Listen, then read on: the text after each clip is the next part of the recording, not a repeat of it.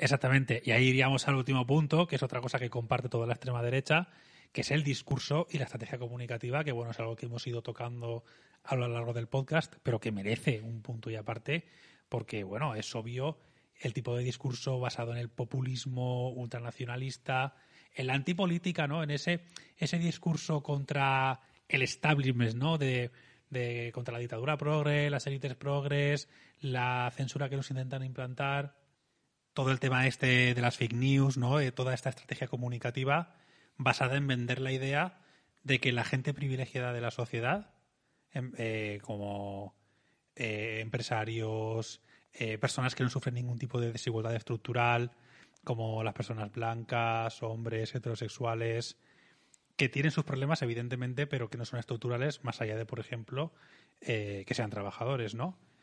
Intentan situarlas en la parte de la víctima, ¿verdad? De lo, que comentabas tú antes, Juan Fran, de que de presentar a las víctimas reales de la sociedad, las que sufren una desigualdad estructural, la gente pobre, humilde. Eh, Esos como verdugos. Exacto, presentarlos como verdugos, ¿no? Como los que son los que están intentando implantar algún tipo de censura eh, o perseguir sus intereses económicos particulares o políticos, disfrazándolo de una supuesta solidaridad, una supuesta libertad, una supuesta igualdad que no es tal. Porque ellos defienden que evidentemente ya hay igualdad, evidentemente esos problemas no existen, son inventados, que la izquierda se detiene en problemas y en debates que a nadie le interesa, podredumbre, ¿no? Y para sostener todo esto, todo este discurso antipolítico de rechazo además de muchas veces de las instituciones, eh, desprestigio de la democracia, desprestigio de los partidos, ataque al establishment, que no es tal porque pertenecen al establishment, ¿Cómo lo hacen si es mentira? Pues se apoyan en fake news, se apoyan en bulos, en datos falsos. De hecho, eh, hace un par de años un informe de la Unión Europea alertó del peligro del auge de la extrema derecha y de sus postulados autoritarios eh, y antiderechos basados en bulos, mm. basados en, noticias falsas. Y intentaron, eh, desde las instituciones europeas, intentaron de alguna manera diseminar consejos, manuales de cómo identificar fake news porque son un verdadero problema. Son un auténtico problema y además siguen estando muy a la moda. Pero es que eh, hace unos días mismo, Wall Street Wolverine, uno de los youtubers cercanos a la extrema derecha, compartió un vídeo en el que el titular era ¿Está jugando un funcionario del Ministerio de Igualdad al GTA V? Y se veía un edificio funcionarial del Ministerio de Igualdad con un funcionario dentro jugando. Y claro, eso recibió mucha gente que lo compartía, muchos comentarios riéndose del tema. Claro, lo que Wall Street Wolverine no te decía eran dos cosas. Una, que ese edificio no es el del Ministerio de Igualdad. Fue el Ministerio de Igualdad cuando Zapatero, no es el del actual ministerio. Y dos, que parece que, la que posiblemente el vídeo que está viendo la persona está trucado. Porque la persona apenas se mueve mientras está jugando un juego muy dinámico y con mucho movimiento y en cambio apenas mueve los controles. Entonces, bueno, se está analizando para ver si eso también es un truco, pero da igual, ya se ha viralizado. Ha sido muy importante que llegasen los verificadores de información que se han puesto hace unos años. El problema es que, por un lado, refuerzan la idea que vende la extrema derecha de la censura y tal, cuando lo que hacen es decirte, eso que te están contando es mentira pero por esto, por esto y por esto que cualquiera puede comprobar en la mayoría de casos, no porque lo digan ellos. Exactamente. Aunque bueno, mucho cuidado también con los verificadores de información, porque muchos de ellos, no es el caso, por ejemplo, de maldita.es, pero sí que puede ser en el caso de Neutral, están apoyados también por organizaciones a las que les interesa difundir bulos. Sí, sí, sí, desde luego. Además, que pueden tener su línea política y ver qué bulos difunden y qué bulos corrigen, ¿no? Porque es importante que, claro, si te llega un verificador que pudiera ser de extrema derecha, pues a lo mejor te está todo el rato eh, corrigiendo bulos que a lo mejor no son tal cosa. Pero en general, incluso aunque tenga otra línea periodística, como lo que tiene que demostrarte si una cosa es un bulo o no, es complicado que te pueda mentir en eso. Al final la cuestión es que la, eh, todas las ideas, todos los partidos han utilizado alguna vez este tipo de discursos, el discurso antipolítico, anti-establishment, o utilizar bulos, lo puede hacer cualquiera.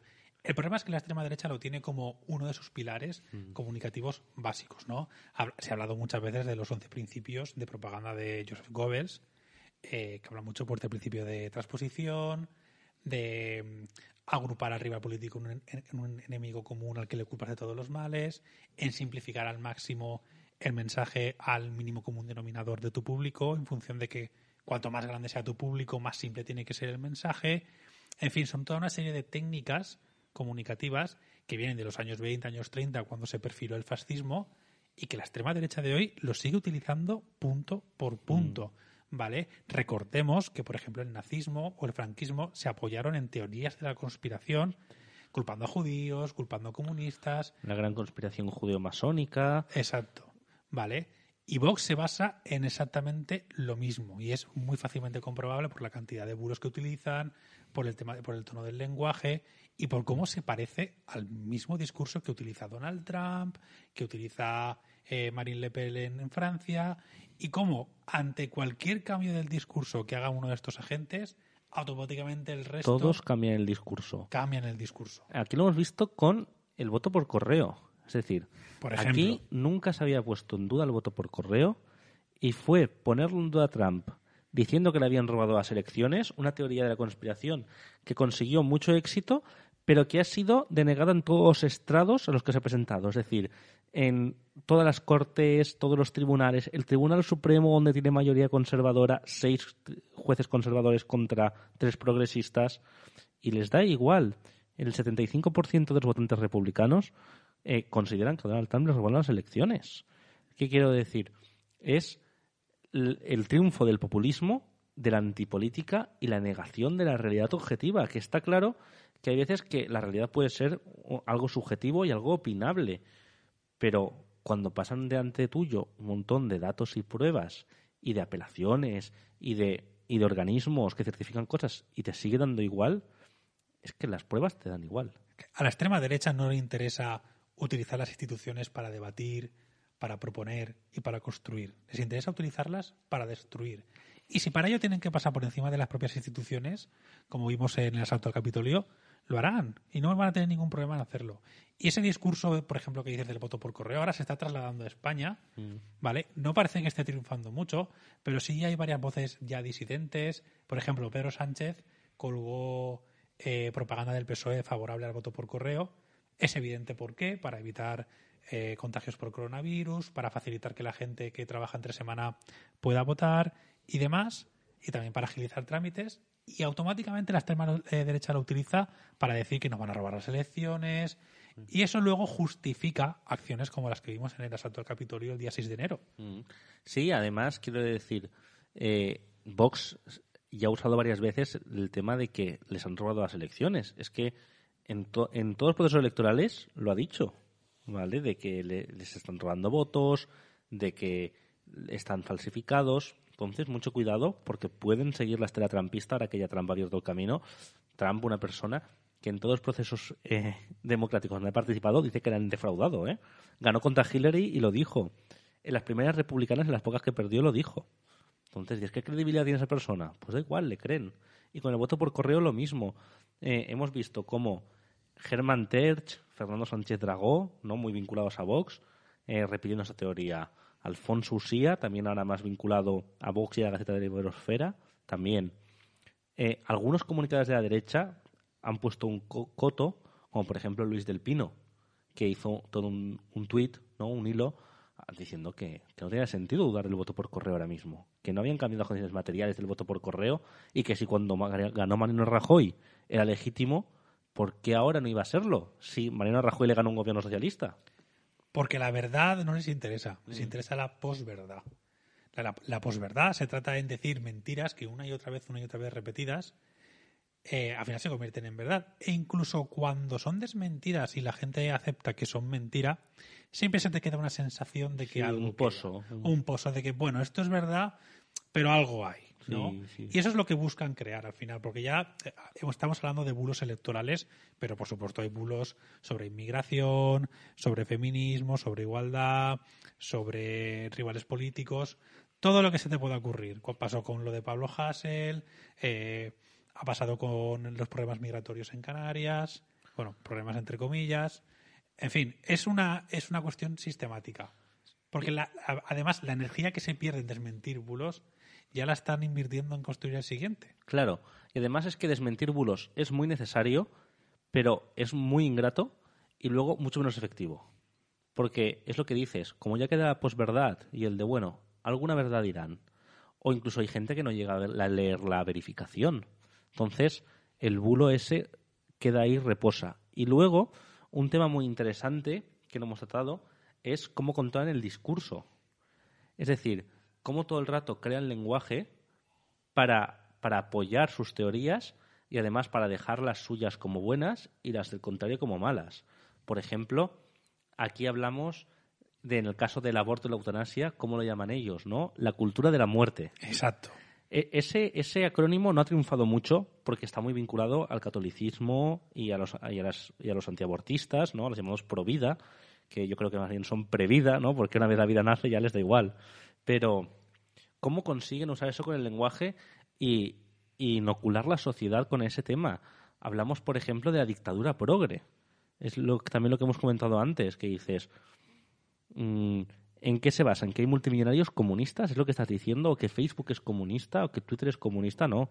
Twitter y Facebook tendrán una línea de pensamiento que irá para intentar evitar conflictos y para evitar que polarices a la sociedad, después de, haber dejado muchos años que la polarizases como quisieras. Y tú a eso lo llamas dictadura progre, censura progre. Mm. El PIN parental es otro ejemplo de comunicación. Es decir, el PIN parental es censura parental, es un veto, es una prohibición. Ellos le ponen alegre, eh, un PIN.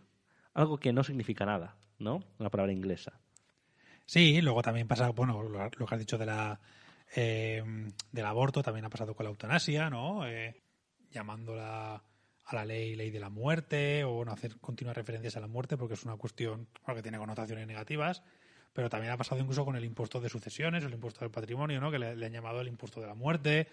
En fin, al final, de hecho, en estos eh, laboratorios o think de ideas ultraderechistas que se crean, se debate esto, ¿no? ¿Qué lenguaje utilizar para que una medida cale, ¿no? Y algo que en verdad afecta muy poco al, día a día de las personas, eh, se termina convirtiendo en todo un debate, vamos, y en toda una declaración de principios que hace que, refuerce ¿no? su agenda política. Mm.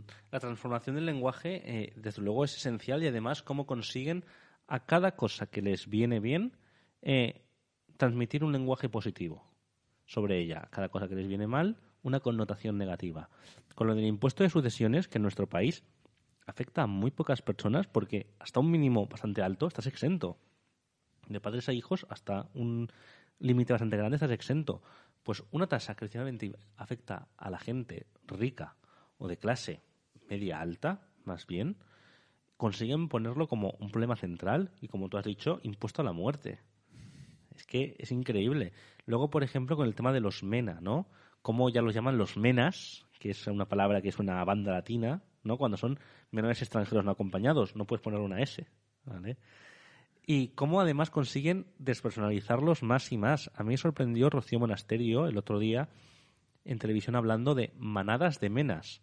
Es decir, ya no son menas, ya son manadas, para que te suene como si fueran un grupo de hienas o de animales.